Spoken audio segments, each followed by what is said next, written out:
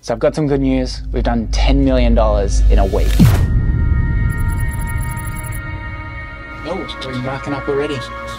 Well done. Uh, good. Very good. Very good. I'm excited for the update. The social growth's good. We'll do an update.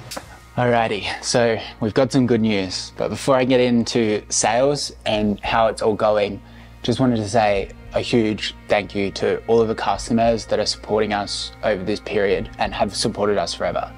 Oodie has such a strong community. Often I don't like talking about sales outwardly simply because it makes us seem bigger than we actually are. And compared to people like Primark and Kmart and stuff like that, every single sale, every single customer that shops with us actually means the world of difference. We just get so happy with all of our customers. Like every single sale means so much. The reason why I do talk about sales outwardly is one, because I like to teach. Two, because if I don't say the sales and I don't use that in the titles, nobody will click. The way that YouTube algorithm works, I need to actually say that stuff so that people click and I can actually do my purpose, which I really, really enjoy teaching. So without further ado, on Tuesday, we did the 1.2 million. Then on Wednesday, we did the 1.8 million. Then Thursday, we did 1.6 million. Friday, we did 1.4 million. And then Saturday we did 1.4 million. And then Sunday we did 1.4 million again. So we are well on our way to our target. How does that happen? Three months ago, we were tracking our sales year on year, which is a really important thing in e-commerce because that's how much stock you need to buy and you're trying to predict sales. And me and my CEO and the team were getting together and we're like, what can we actually sell? And we thought that we could maybe do 30, 40 million and then suddenly sales collapsed. It just wasn't working. We thought that the Nordic pipeline last year was just such a big mover of units last year and we misforecasted that. But we, the team rallied and we started to work really, really hard to make sure that we could deliver the product in the right way. And we worked hard on marketing and we just all really, really came together and we've actually turned that around. So we're actually looking more likely that we're going to hit our original forecast of 38 million. The 20 million was kind of like a really almost bad result for us, but uh, things are going really well. So I don't want this to just be about us. I want this to be about you as well. I want to talk about the ways that you as an entrepreneur, as an e-commerce entrepreneur or wannabe e-commerce entrepreneur, the lessons that you need to learn to have a successful e-commerce business during Black Friday. So the first tip that I have is 100% make sure that you have the right team and processes in place to handle the scale. So I think it was three years ago, we've never actually had a proper Black Friday where we were in stock for the Oodie. And that's simply because we didn't have the right team and processes to handle the scale. I had an operations team that had never worked in e-commerce before. They didn't know how to do proper merchandise planning and we were constantly, we never even had proper forecasts that were based on historic results as well as uh, actually predicting certain trends like COVID. Is that going to impact our sales positively or negatively? So make sure that you've got the right people in the right roles. And if you need help with that, you can just message me and ask me depending on your size. So another key thing to really understand is concepts of marketing. So if you haven't read Influence by Robert Cialdini, you need to. You need to understand how to structure your offers and your business and your product based on certain principles, such as comparison, such as scarcity. These common principles in marketing will really, really help you. And you need to be constantly testing different types of offers throughout the year to see how people behave for them. Because remember, you are competing against big companies, against people that may even be cheaper and lesser quality than you. So you need to structure it in a way that is exciting for customers, that gives customers value as well, and just constantly be iterating and testing those offers. It was only just recently that we were gearing up for Black Friday. We invested $20 million in stock. We were all really excited. The whole Melbourne team was actually in Adelaide as well. We are all catching up, um, talking about strategies and whatnot for the, the coming weeks. Then we got a message. We're all sitting around the table having some drinks and we got a message and it was like, all of your product has been seized by the government. And we're like, what? What is going on? We found out that the 3PL had improperly filed a certain paperwork that was required to hold our goods. So for the next week, we were just on calls until 2 a.m. trying to get the goods cleared, trying to explain the situation. I was talking to people like people in the Australian government that had representatives in that country, and it was just the most chaotic thing. It was just before that as well, Royal Mail actually went on strike, and we had there was viral videos of piles and piles of hoodies backed up and customers were abusing us, emailing us, and it was literally nothing we can do. The point is Murphy's Law.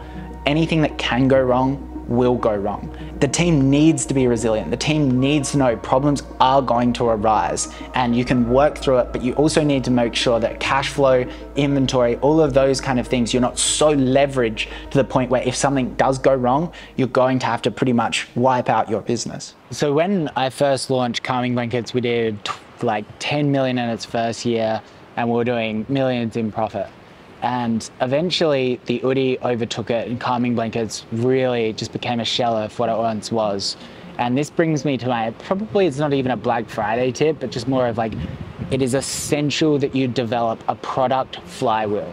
And the product flywheel is really prevalent in brands like Oodie or Gymshark, where you're constantly able to iterate on your existing product set and create products that are exciting for customers. There's another great brand called Quadlock and they're based in Australia. They create iPhone cases that lock into certain situations so that they and they're doing you know hundreds of millions. So you might get a bike quad lock and your case actually clicks onto that. And then you go to your car and it clicks onto that as well. So thinking about how you can create iterative products so that you can com consistently compound month on month, year on year and engage those audiences again. In previous years, we would always be confused about what products were dropping, when the promotions were launching, all of these kind of things. And the team was just constantly confused. And this is where one of the most important things as you're scaling comes into place, which is a marketing calendar and also trade meetings or weekly meetings. And this is where you get all the team together and you use sales in your forecasts and also the marketing calendar when promotions start and stop to discuss if you're on track and you're hitting your expectations. That communication will then create transparency across the organization, expectations, and it'll really allow people to actually push promotions forward or um, push promotions back depending on what your actual objectives are.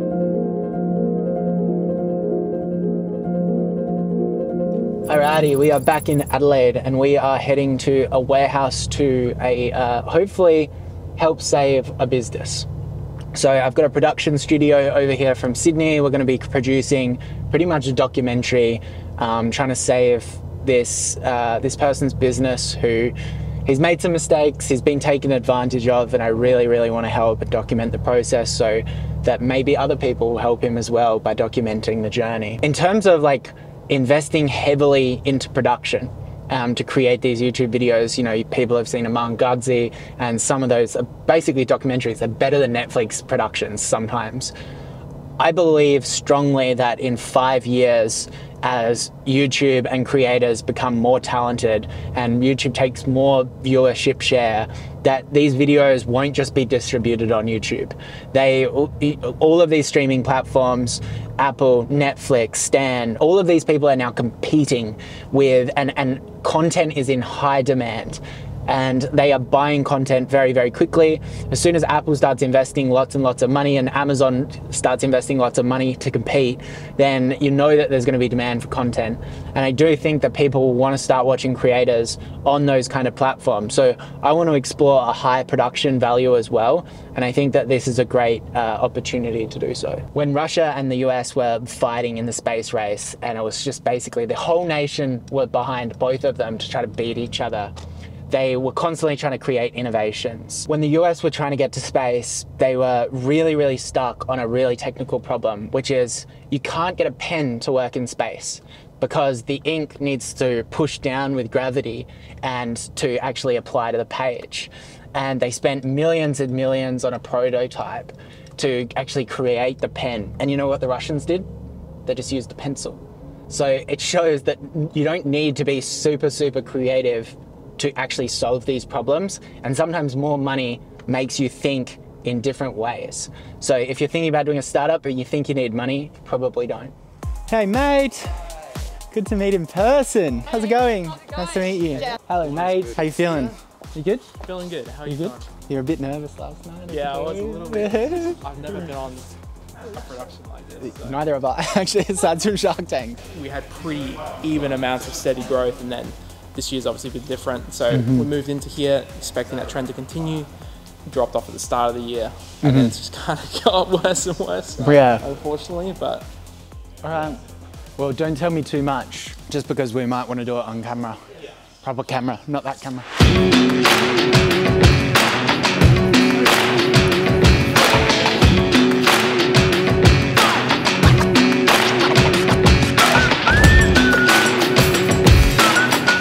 We did an Instagram story and there was 200 people applied in like two minutes for me to come in and help save the business. But Billy had the, the most moving story. It was probably one of the harder businesses to actually fix.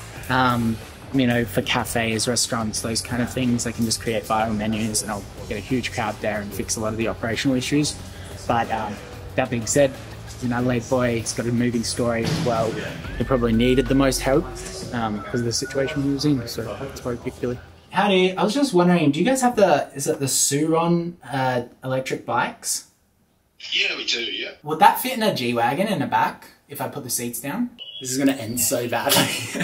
and I guess my final point that I really wanted to finish on with this video is that I was at Simon Beard's, I don't know, $50 million plus mansion, it would be more than that, in Gold Coast just the other day. And I was sitting uh, looking over his boat, his million dollar boat, and I immediately created this need for all of the things that he had. And it's not jealousy, it's inspiration. But as soon as that happens, you instantly lose all peace and nothing is good enough. You are watching this video where I am saying that we are doing massive amounts of sales, and you're going to ask yourself, is what I'm doing enough? And why aren't I able to achieve what he's doing? When realistically, you are doing something amazing, even if it's at a thousand dollars over your Black Friday weekend, you're on the trajectory to change your life.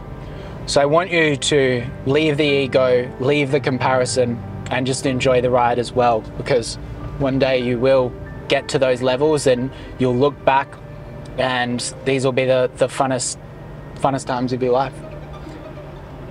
Bye.